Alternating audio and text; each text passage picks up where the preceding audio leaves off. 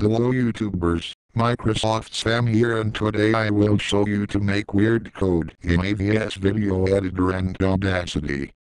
First step is to click color, and then change the hue to 180.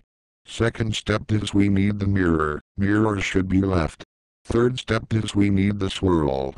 Degrees should be 10 and the angle should be negative 180. Fourth step is to open Audacity. Fifth step is to apply monster chorus.